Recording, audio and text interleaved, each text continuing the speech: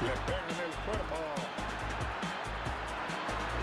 Desde que se ha visto con superioridad numérica, el equipo parece que respira de otra manera. El gol confirma lo que ya veíamos. Jugar con uno menos se paga.